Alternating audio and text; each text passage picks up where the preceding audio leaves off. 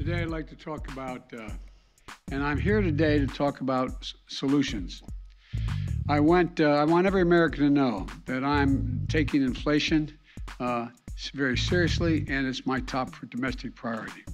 Americans have a choice right now between two paths. The other path is the ultra MAGA. Look, I know you got to be frustrated. I know. Can taste it. But the MAGA Republicans are can and enact so they can enact their extreme agenda. Look at their agenda. Ultra MAGA Republicans who seem to control the Republican Party now to have been able to control the Republican Party. I, I never anticipated that happening. Huh. I wonder whether that's the reason my prices are up. The ultra MAGA agenda. They've got it backwards, in my view. In recent years, the average billionaire has paid about 8% in federal taxes.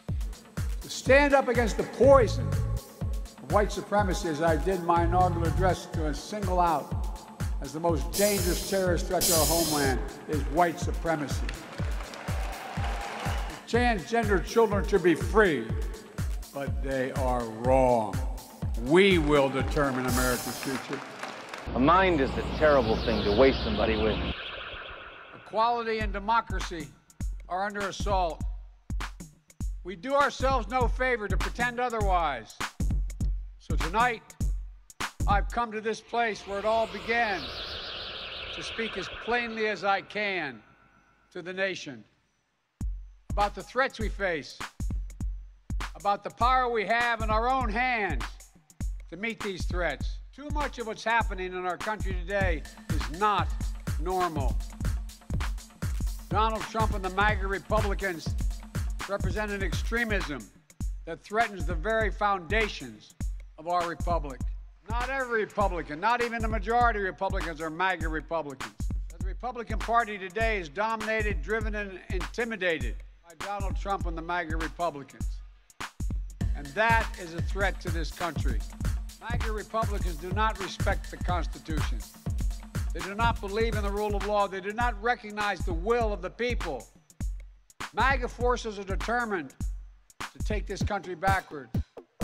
Backwards to an America where there is no right to choose, no right to privacy, no right to contraception, no right to marry who you love. They promote authoritarian leaders and they fan the flames of political violence that are a threat to our personal rights, to the pursuit of justice, to the rule of law, to the very soul of this country. And they see their MAGA failure to stop a peaceful transfer of power after the 2020 election as preparation for the 2022 and 2024 elections. Trump and the extreme MAGA Republicans quote a clear and present danger to our democracy. But while the threat to American democracy is real, I want to say as clearly as we can we are not powerless in the face of these threats. We are not bystanders in this ongoing attack on democracy. There are far more Americans, far more Americans from every, from every background and belief who reject the extreme MAGA ideology than those that accept it. Our nation of fear, division, and of darkness. MAGA Republicans have made their choice. They embrace anger. They thrive on chaos. They live not in the light of truth, but in the shadow of lies. This is a nation that honors our Constitution. We do not reject it. This is a nation that believes in the rule of law. We do not repudiate it. This is a nation that respects free and fair elections. We honor the will of the people. We do not deny it. And this is a nation that rejects violence as a political tool. We do not encourage violence. We are still an America that believes in honesty and decency respect for others. The blind loyalty to a single leader and a willingness to engage in political violence is fatal to democracy. The MAGA Republicans are des- destroying American democracy. We, the people, will not let anyone or anything tear us apart. We here, you've heard it, more and more talk about violence as an acceptable political tool in this country. It's not. It can never be an acceptable tool.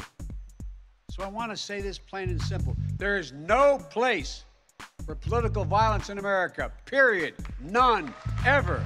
And all the calling for mass violence and rioting in the streets. This is inflammatory. It's dangerous. It's against the rule of law. And we, the people, must say, this is not who we are. We can't allow violence to be normalized in this country. It's wrong.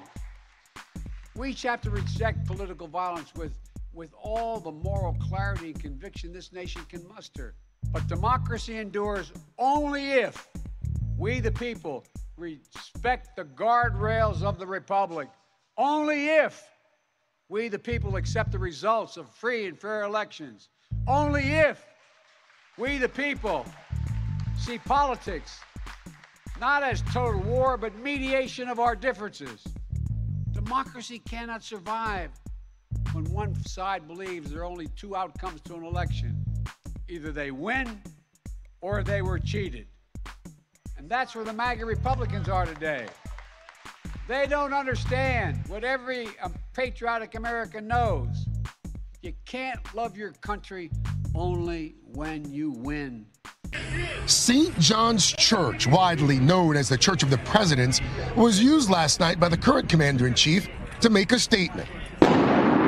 Shortly after authorities used force to clear the area of protesters, President Trump walked to the church from the White House and held up a Bible that just one night earlier, flames ripped through the lower level of St. John's Church. And uh, as you can see, uh, there's definitely a fire here. The historic church set on fire by protesters is luck. The historic church set on fire by protesters is luck. The historic church set on fire by protesters is luck. The historic church set on fire by protesters to still be standing. Was this the nursery that was just used on Sundays, or? Mm-hmm. Yeah. The next day, the rector, Robert Fisher, showed me what was left a charred changing table and melted children's toys.